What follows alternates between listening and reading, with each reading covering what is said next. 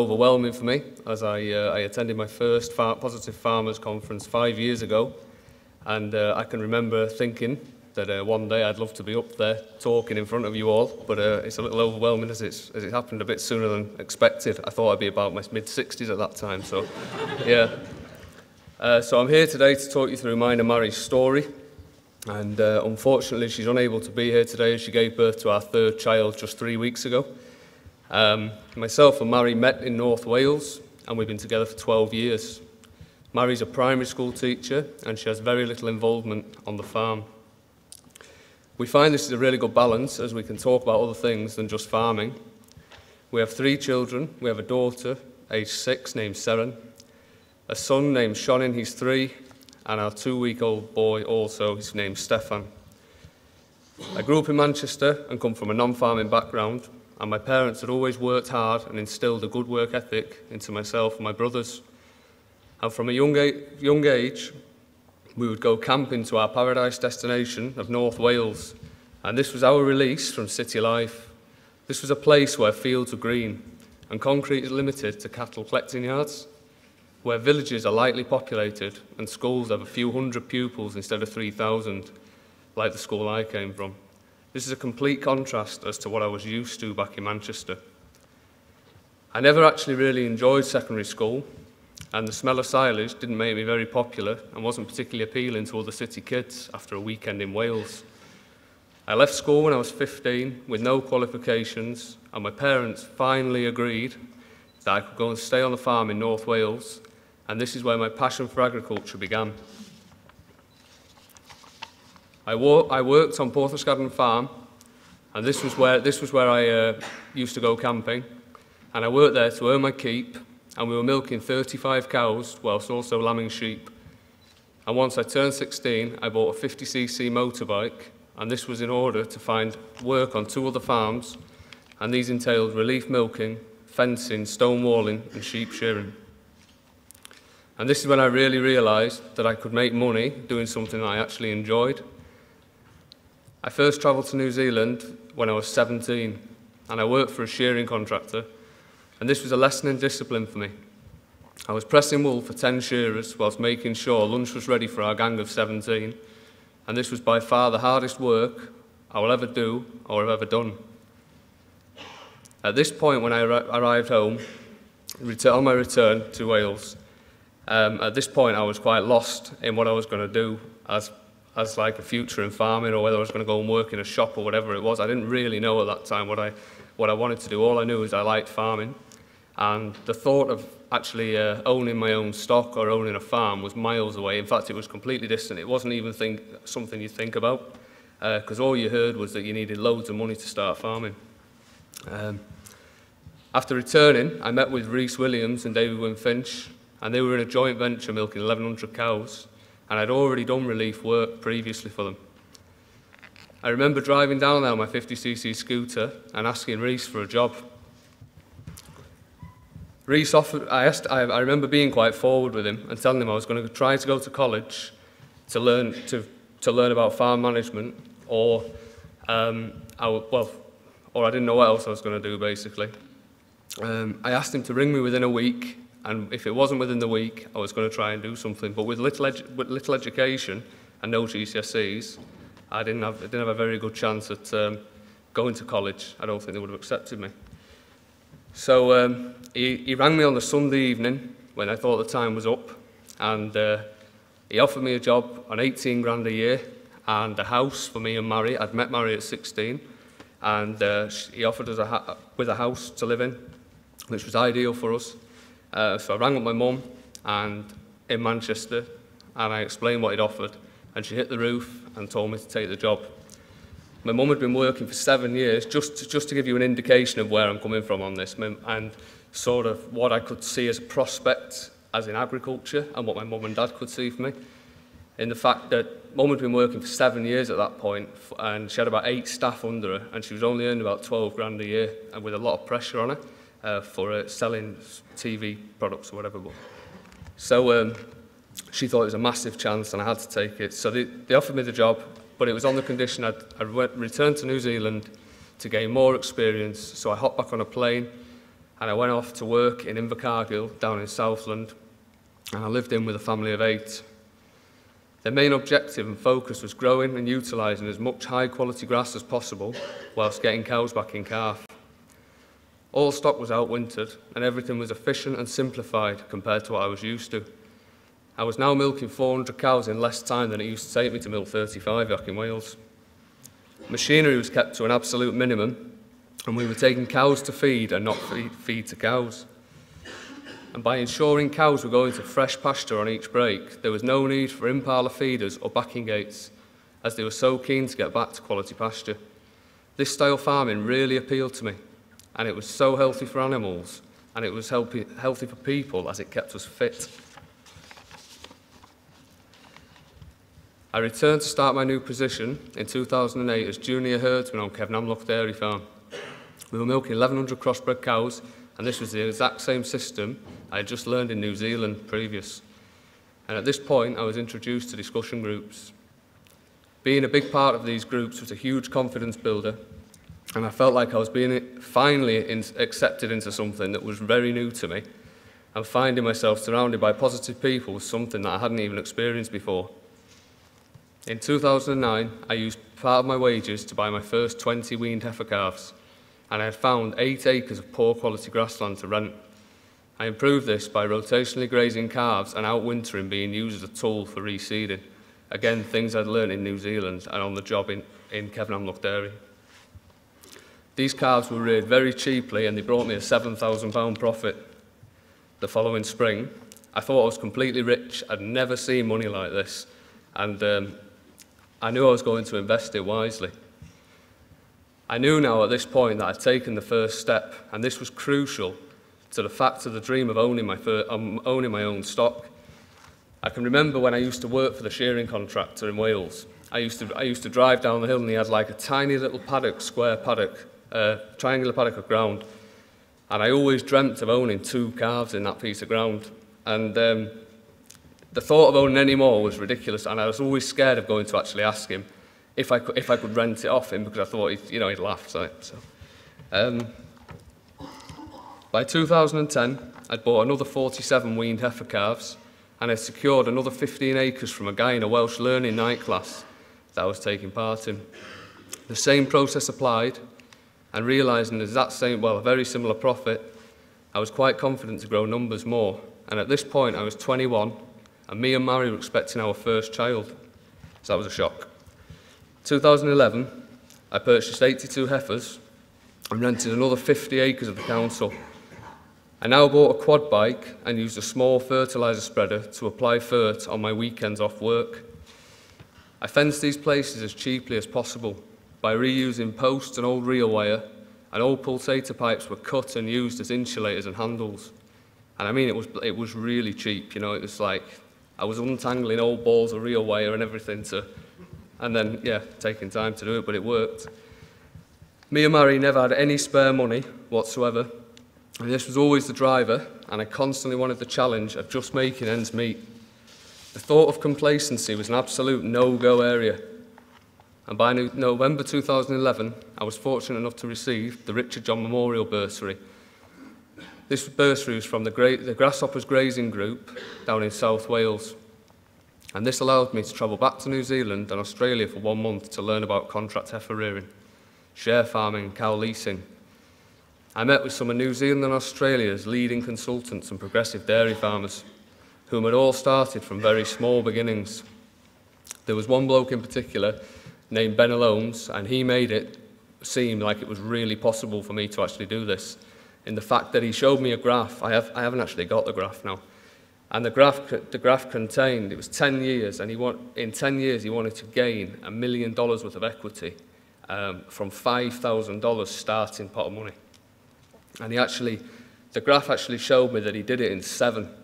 And I, I was at a very similar point at this time in my life where I had like 80 heifers at this point, and I, I felt like they were, I was wasting my, their time really, you know, seeing as they were milking thousands of cows and so forth.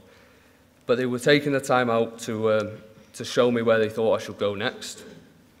And going back, going back to Ben Allomes, the first three or four years, at the point where I was, I felt like I wasn't actually lifting off at all. Like I was just, it was very, very gradual.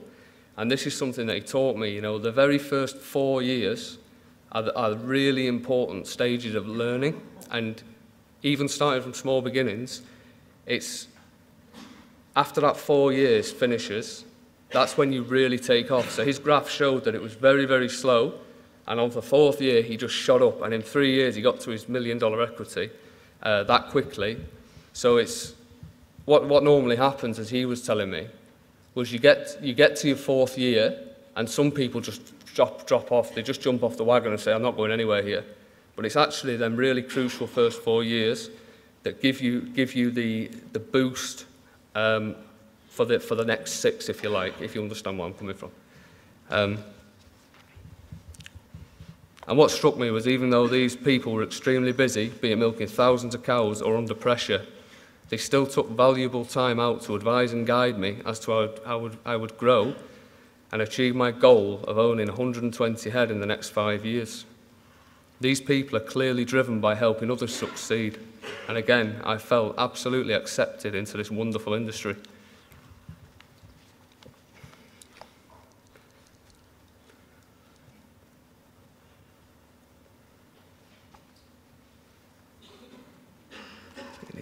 Mary. Yeah. Linnea Ryan and Leonie Guiney simplified the true opportunities that are out there for new entrants, and this picture sums it up pretty well. Providing that we're strategic, hard-working and willing, there is no reason that any of us cannot achieve our goals. And this is the same sort of journey and pathway as I am taking. And it shows that starting from the very beginning as an employee, that you can, be, you can start from there and work to the top. In 2012, I used the information gained from that trip to New Zealand and I leased out 50 in-calf heifers for two years. By doing this, I retained their equity whilst adhering to my main objective of not becoming complacent. I realised that in order to continue growing, I would now need to borrow money and I had built a good reputation and relationship with my bank. So at this point, I hadn't borrowed anything. This was all from wages and calf sales and so forth. So we're rearing heifers from buying them and getting them up to in calf for about 4.35 a, head and selling them on for 11 to 1200. Um, so there's huge profit there. Each year I was informing the bank. I'd, I'd built a fantastic reputation and good relationship with my bank. And each year I would inform them as to what my plans were and I was overachieving year on year. This secured my first £30,000 loan which they, weren't hesitant to give me at all. I used this to purchase more stock, and at this point, I had to get better at managing time. As we had one child, we were expecting our second, and we had to work things around my full time job. In 2013, I now had the opportunity to manage a 300 hectare farm where, I, where I'd originally worked, and I took this in my stride. And at this point, we now owned 50 leased cows, 109 bulling heifers, and 110 weaned heifer calves. And this is when I really started thinking about share farming and realising that soon I would have to either sell them all before calving them, lease them all out, which was very risky, and, or find an opportunity to milk them in my own right, which was truly what I wanted to do and what I'd learned about in New Zealand. There was certainly compromise here, as I would, I would go anywhere tomorrow to achieve my goals and, my, and the opportunity that I, that I desire. Whereas Mary, my fiance, wants to stay in North Wales where she's comfortable and that's where her family are. So the compromise was that we try and find something close to home. And th this is when David Wynne Finch, who I was working for, he offered me a 50-50 share farming opportunity a couple of miles away from where I worked then and where I originally camped as a child, which was really strange because I always dreamt of being a farmer as live, um, going camping on this farm, but now I can actually see the farm out my bedroom window where I camped as a child. So, yeah. Um, yes, things are, things are just coming to me. In March 2014, oh, sorry, um, we started the conversion on a 100 hectare greenfield site, which I oversaw, and this was invaluable and played a huge part in personal development dealing with people and managing them. By March 2014, we started milking 350 crossbred heifers through a 24-48 Waikato parlour, and this runs as a one-man band and a very simple system. We employ one full-time member of staff and myself, and we, and we, we use relief staff through calving. All young stock is contract reared, meaning we can focus on grass and cows, and this is what we are truly passionate about. In 2015, I was lucky, to be, lucky enough to be part of the Positive Farmers trip to New Zealand. And this was a fantastic opportunity to question some of the very best farmers New Zealand had on to offer, and Will Grayling being one of them. I made some fantastic lifelong new friends on this trip, and friends is something that I was quite short of, with not, with not having an education in Manchester, not going to college or university, and then moving from to somewhere where I didn't know anybody. So this was, this was, a real, this was a real sort of personal development stage for me going on that trip to New Zealand in itself. The main, the main reason for the trip to New Zealand, I wanted clarity as to why we run the system we run and how we can make it even more robust and efficient. And a system that can withstand the fiercest of volatility without compromising on our long-term business and personal goals.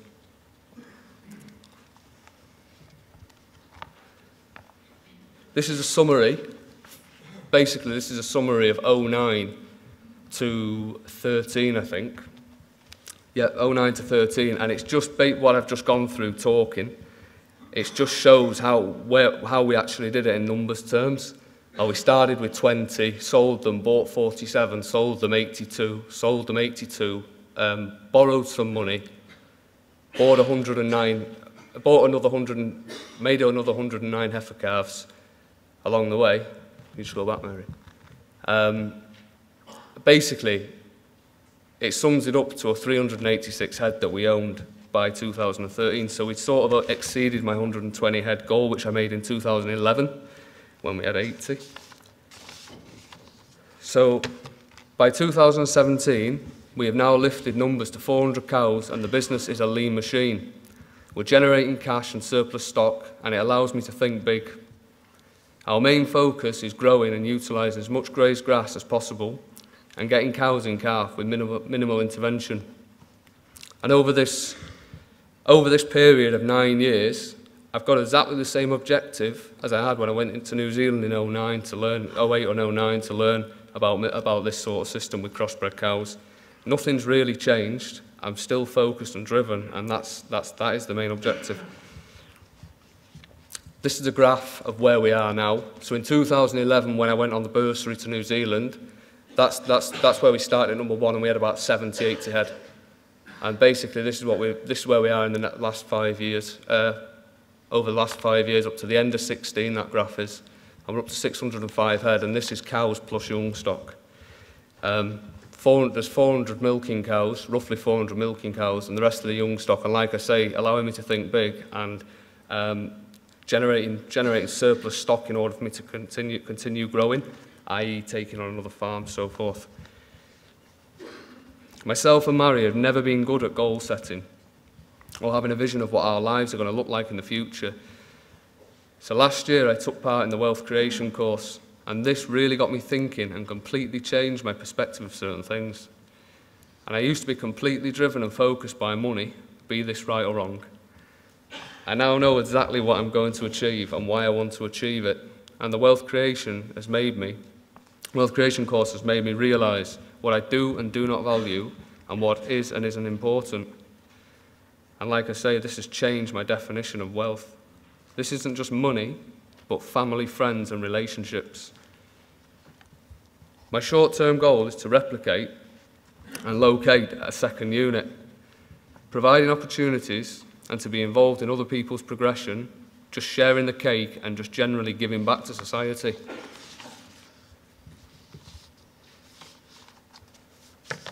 My long-term goal is to replicate the short-term and allowing me, allowing more new entrants the same chances that I have had.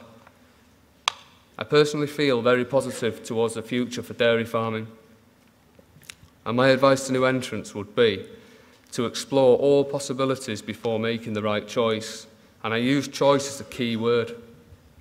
It doesn't matter where you come from or from whatever background you come from, you've always got a choice, regardless whether parents think you should carry on on the farm or you work in a shop, whatever it is. Everybody has that choice, regardless.